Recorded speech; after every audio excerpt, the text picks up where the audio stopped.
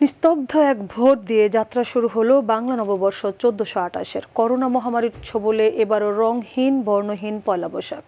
জনশূন্য রমনা বটমূল নেই বর্ষবরণের আয়োজন।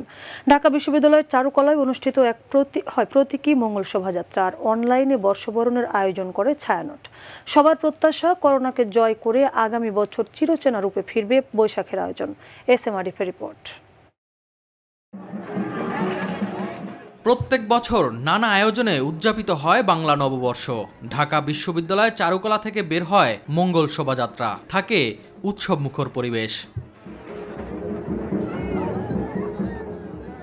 করোনা প্রাদুর্ভাবের কারণে গত বছর সেই উৎসবে ছেদ পড়ে বাঙালির। সংক্রমণ বাড়তে থাকায় হয়নি মঙ্গল শোভাযাত্রা। এবারও ব্যতিক্রম নয়। বৈশ্বিক মহামারীর কারণে নেই কোনো উৎসবের আমেজ। ভিন্ন আঙ্গিকে প্রতীকী মঙ্গল শোভাযাত্রার আয়োজন করে চারুকলা অনুষদ। জনসমাগম এড়িয়ে স্বাস্থ্যবিধি মেনে আয়োজিত মঙ্গল শোভাযাত্রার এবারের প্রতিপাদ্য কাল ভয়ঙ্করের বেশে, এবার ওই আসে সুন্দর। প্রত্যাশা, বৈশ্বিক এই মহামারী থেকে মুক্তি মিলুক পৃথিবীর। কিছু মুখোশ আছে, যে মুখোশগুলো এবং ফেস শিল্ড আমাদেরকে শিক্ষা দেয়। যে কোভিড নাইন্টিন প্যান্ডেমিককে মোকাবেলা করার জন্য শারীরিক দূরত্ব বজায় রেখে মাস্ক পরিধান করলে এটি এটি থেকে রক্ষা পাওয়া যাবে। সেটি একটি বড় বার্তা।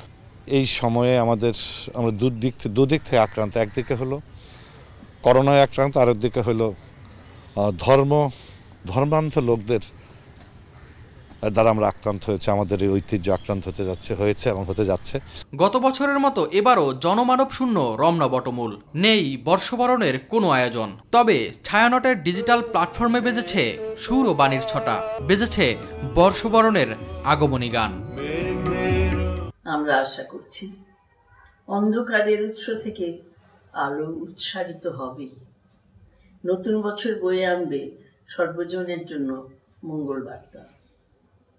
আলো আসবেই শুভ নববর্ষ। S M Arif my TV Dhaka.